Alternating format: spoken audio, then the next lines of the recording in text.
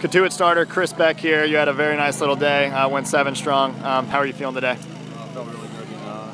Uh, you know, one uh, one bad pitch, maybe got out of the ballpark, you know. I mean, that was a Ralph Wilson Field home run. That was uh, yeah. A good swing on it, you know, but uh, felt good. Threw the ball down the zone all day. Changed up work, uh, mixed in and out, and you know, can't complain with the results. How does it feel to give up a home run that went about 360 feet to center field? Uh, you know, it's part of the game here. Same thing happened to Orleans, so you know, you just take the bumps as you go on.